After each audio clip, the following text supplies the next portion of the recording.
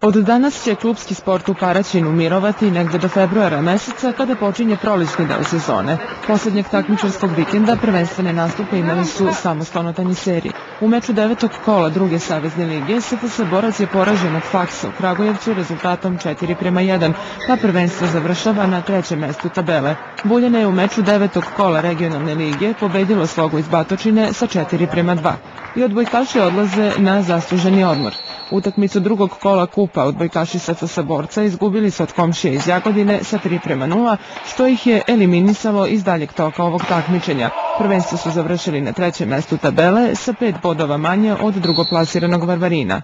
Na međunarodnom turniru Nippon Top 10 u Beogradu karatisti paraćinske sekcije karate kluba Jagodina Dragana Ćimović i Andrija Milojević osvojili su dve srebrne medalje. Na ovom takmičenju učestvovalo je oko 600 takmičara.